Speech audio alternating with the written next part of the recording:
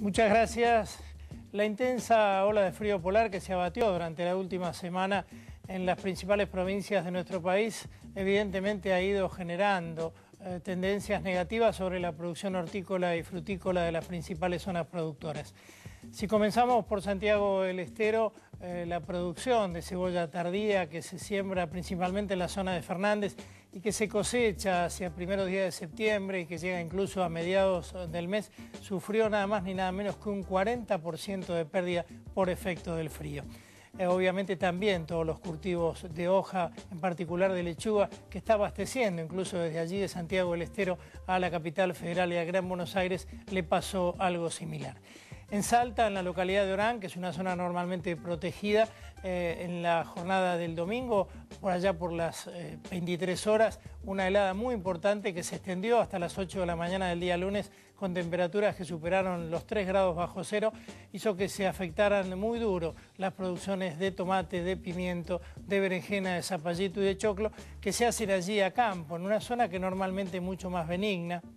hay que recordar que hay 2.000 hectáreas de campo allí en la zona y que aproximadamente son 600 las que están bajo invernáculo. También se vieron afectados en la zona de Orán las producciones eh, de banana. En el caso de Corrientes no se registraron problemas en la producción de tomate y de pimiento. Bueno, allí es invernáculo, son 1.100 las hectáreas que en la zona de Bellavista y de Santa Lucía se producen en la provincia. Sí hubo algunos problemas con aquellos eh, productos que estaban en, en una etapa de floración, el fruto, por lo tanto, pero eso lo vamos a ver recién y mensurar aproximadamente en los próximos 60 días. En el caso de Misiones, pérdidas muy importantes para los cultivos hortícolas, aún en aquellos cultivos, los que, cultivos que son muy resistentes al frío, como puede ser el repollo, como puede ser el rabanito y la remolacha, también sufrieron las inclemencias del tiempo. En el caso de Tucumán estamos en plena cosecha de frutilla y si bien eh, no ha habido inconvenientes, sí lo tuvieron aquellas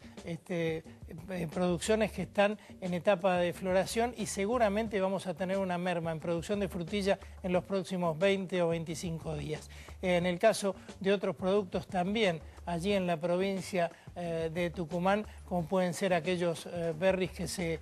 producen allí en la zona, también tendremos algunos problemas con aquellas